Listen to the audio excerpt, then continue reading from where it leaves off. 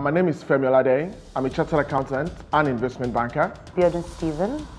I'm a filmmaker, writer, producer, and director. Olakunbi Tamari, creative director of April by Kunbi. Abiola Adekoya.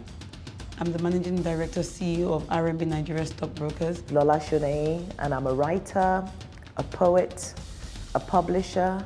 Brimo. Adedamola Ladijobi. I'm the founder of Ask Dam Lizosho.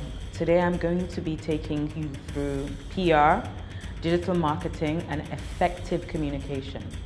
This, this is DANG